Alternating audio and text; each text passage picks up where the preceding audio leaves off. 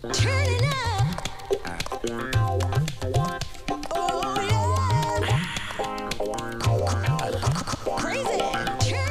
दस दस की गाड़ी मार खाएगी है। तेरे को कैसा मालूम रे? देख रहा नहीं दोनों मडगाडा कैसा मार ले रहे? लब डब लब डब लब डब लब डब आई देख रहा बुड्ढों को। आखिरी रील में भी आंखा सेक रही। अरे खालिद तू कब आया? अरे सलाम चाउश वालेकुम सलाम खालिद मियाँ। कैफल हाला? अल्हम्दुलिल्लाह माफ़ी मुश्किल या अल्लाह रहो देख रहे हैं चाउश बासी कड़ी में कैसा उबाल आ रहा? इनके बातें सुन सुन के मेरे काना पक गए रे। और बाजू का हिजड़ा शादी करके चले गया। अरे अरे वो आखिरी रील ठहरो रे रे। सही बोल रहे हैं चाउश तुम। आजकल के बुड्ढे भी बहुत खराब हो गए। अरे तू बहुत सीधा है। जिलेबी के जैसा घुमाऊ। छह महीने से घुमा रहा मेरे को। खालिद किराए के पैसे भेज रहा भेज रहा बोल के। अब खालिद खुद ही चाह गया ना रे?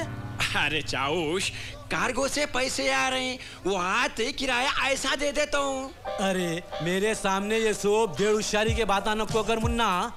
इसका मतलब है तू भी लंगे का भाई चंगा बन के आया। अरे चाउश फिकर नको करो पैसे आने वाले हैं। तू बहुत बड़ा चीटर है रे तो मैं भी कुछ कम नहीं हूँ। यार को सीडी बोलते क्या? चाउश डिच्चा एक मारा ना जिप बोल के पिशानी फट छह इंच की जिप। बोले तो यहाँ से यहाँ तक टाके बाबू। अरे तुम ऑर्डर कहीं जी तुम्हारा आगे रहा कहाँ जाता? आज नहीं तो कल मिल जाता ना? वैसे भी तुम्हारे को बच्चा ना कच्चा। जी को रखो अच्छा। ये आजकल आजकल की चक्कर में मैच निकल गया तो। ऐसा नको बोलो चाउश। सलीम लंगड़े की भी उम्र तुम्हारे को लग जाए। सलीम लंगड़ा। अरे उन्हें तो मर गया ना?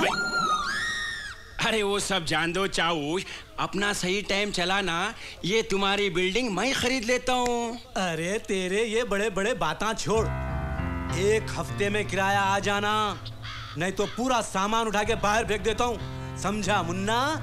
लल्लू उस्ताद का पट्टा हूँ।